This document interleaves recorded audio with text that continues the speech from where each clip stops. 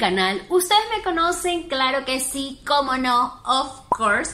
Yo soy Clarice Hernández, soy una venezolana en Paraguay.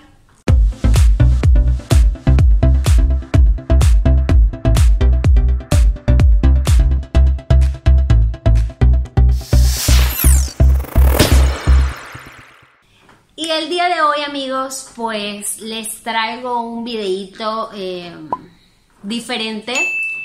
Eh, quiero explicar básicamente el por qué estoy sacando este video. Eh, hace un tiempito hice un videito con respecto a por qué me fui de Perú. porque lógicamente, o por lo menos los que tienen tiempo conmigo aquí en el canal, Saben que yo viví en Perú un tiempo y emigré hacia acá, a Paraguay, y muchos me habían preguntado constantemente el por qué yo me había ido. Sin embargo, eh, yo había tratado, digamos, de no tocar el tema, pero realmente fue tanta la cantidad de preguntas que recibí con respecto a ese tema eh, de mis suscriptores que decidí grabar un video. Luego de ese video, amigos, como muchos sabrán, o de repente si no lo saben, bueno, nada más con que vayan al video y lean los comentarios se van a dar cuenta, eh, vino una ola de hate súper grande hacia mí. Este, muchas personas se ofendieron, me insultaron, me dijeron muchísimas cosas, pero algo que sí se repitió muchísimo eh, fue si puedes o tienes la fuerza para hablar de tus malas experiencias en otro país, ¿por qué te fuiste de Perú, que en realidad no es tu país natal? ¿Por qué razón no poder hablar de por qué te fuiste de Venezuela? Eh, básicamente fue algo que se repitió mucho, eh, me lo dijeron varias personas por comentarios eh, públicos en YouTube y también me lo dijeron a través de mi DM en Instagram. que si había tenido la fortaleza de contar el por qué me había ido este, de Perú, que por qué razón no hacía lo mismo con Venezuela, porque muchos de ustedes quieren saber el por qué me fui. Yo la verdad nunca había pensado grabar este video, amigos, porque la verdad, eh, para ser honesta, y no quiero que nadie se ofenda ni que lo tome a mal, pero a mí me parece que Venezuela ha sido eh, un secreto a voces durante tantos años y yo creo que para saber de Venezuela simplemente tienes que ver las noticias y enterarte de todo lo que está sucediendo en mi país. Eh, creo que es bastante... No sé, creo que como les digo, es un secreto a voces, es algo que todo el mundo sabe, que inclusive si no eres venezolano, si no vives en Venezuela, solo con ver las noticias, eh, poner Venezuela noticias en Google, te va a salir una ola de cosas este, que básicamente te pueden dar la medida del por qué tantísima gente se ha ido de Venezuela. No solamente hablo por mí, sino por millones de paisanos que han salido de Venezuela eh, por los mil y un problemas que hay allí. Sin embargo, pues al ver la insistencia de muchos de ustedes, eh, yo quise tomarme el tiempo de hablar directamente mi experiencia, así como lo hice cuando el tema de Perú, también lo hago con respecto a mi país. Eh, sé que la razón por la que yo me fui, pienso yo que podría ser la gran mayoría de las personas eh, pero puedo entender que de repente no fue por las mismas situaciones o no está, digamos, tan apegado a mi historia. Como les digo, todos tenemos una historia, todos tenemos una experiencia diferente y obligatoriamente la mía no tiene que ser la tuya. Entonces, básicamente yo quiero hablar de lo que yo viví, del por qué yo me fui, pero como siempre lo digo desde el respeto, desde la tolerancia y desde el entender que hay historias similares a la mía como hay historias totalmente diferentes y no pienso jugar a ninguna de ellas. Este, no soy quien para juzgar, no somos nadie, ninguno de nosotros para juzgar, pero sí les puedo decir, por lo menos en mi caso, nunca pensé en emigrar, no fue mi filosofía de vida, yo no me quise ir de mi país, yo no me quería ir de mi país, pero lamentablemente a veces las situaciones te ponen en una brecha en la que tienes que tomar la decisión sí o sí es como que no tienes más opción o de repente no tienes más opción si quieres progresar, si quieres avanzar, si quieres llevar una vida digna, este lamentablemente no puedes quedarte. Entonces, quiero dejar eso claro, que lo primero es eso, mi filosofía de vida jamás fue emigrar y no ha sido fácil, eh, principalmente eso. La primera razón por la que yo me fui de Venezuela este, es por la inseguridad. Eh, realmente creo que no sé si es el problema más grande, pero creo que desde hace muchísimos años se sabe que Caracas, que es la ciudad principal de Venezuela, es una de las ciudades o la ciudad más peligrosa del mundo. A este punto todavía no lo sé, pero sé que estaba entre las tres, cuatro primeras y me imagino que con lo mal que se ha puesto la situación, lógicamente eso habrá aumentado. Yo particularmente, amigos, fui, fui víctima de robos en incontables oportunidades en mi país. Este Muchos de ellos pudieron inclusive ser fatales. Eh, gracias a Dios nunca me pasó nada, pero sí, sí llegué a experimentar este, situaciones muy fuertes, muy duras, este, que no le deseo a nadie, pero que estoy consciente de que más de un venezolano ha pasado, porque es el pan de cada día, eh, hay demasiada delincuencia y con lo horrible de la situación y de la economía,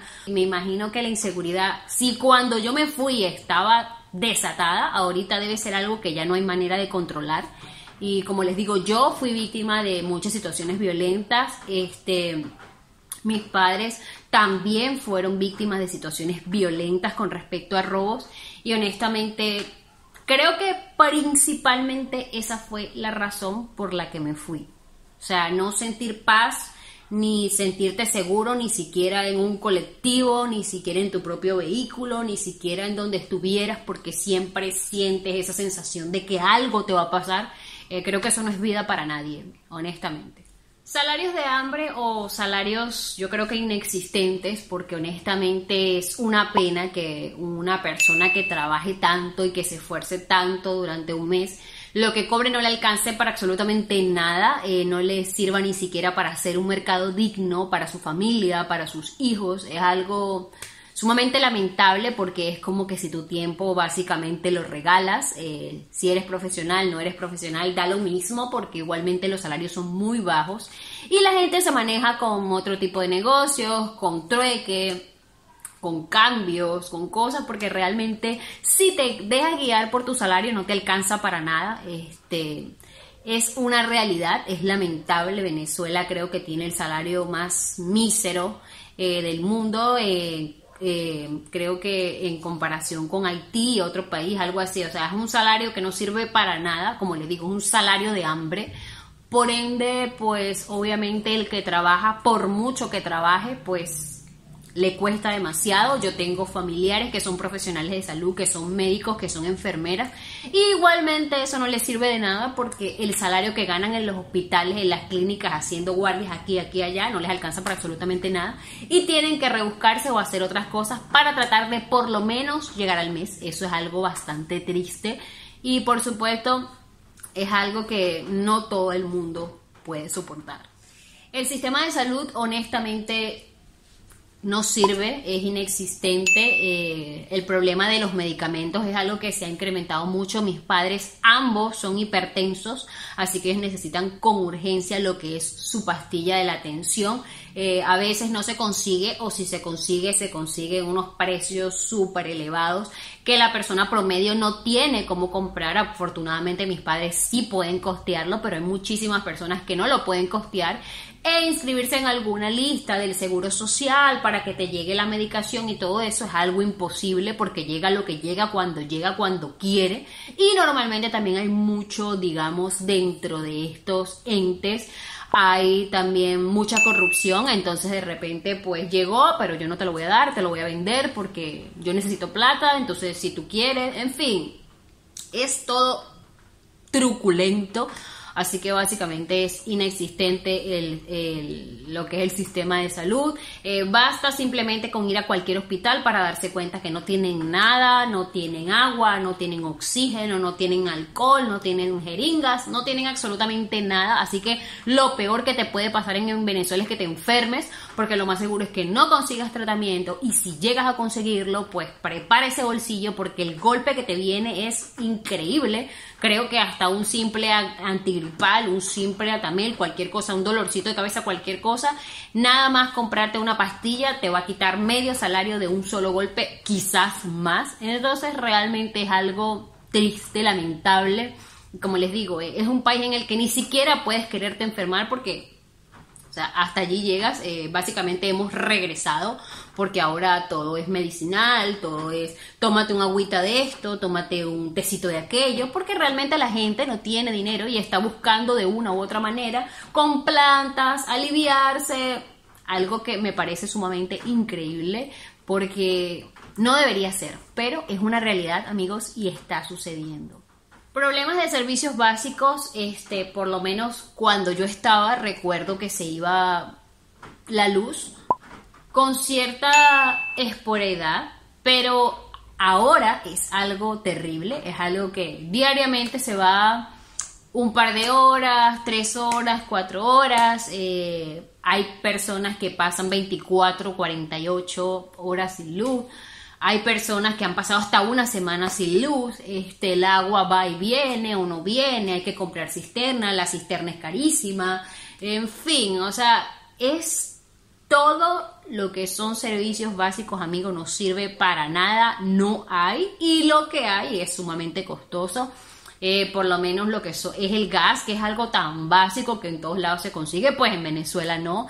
En Venezuela tú tienes que llevar básicamente lo que es tu garrafa y ponerla allí esperar que algún día en la vida quizás pues te llegue el gas, de repente no te llega, de repente no hay, eh, no hay gasolina, el que tenga carro pues lo tiene parado porque gasolina no hay y si quieres poner gasolina tienes que pasar dos, tres, cuatro, cinco días en una cola y quizás cuando te toque a ti, a tu vehículo pues ya no hay gasolina y triste perdiste tus cuatro días porque se acabó. Realmente lo de la gasolina también es una mafia porque obviamente si tú eres amigo del fulanito de tal o eres amigo de no sé quién, bueno, ya tú sabes que tú tienes preferencia, tú puedes pasar primero, este, el que se pone bravo se arma la trifulca, en fin, amigo, es una locura total con cualquier tema. Venezuela termina en lo mismo y realmente esa es una razón muy poderosa para muchas personas también que no aguantan.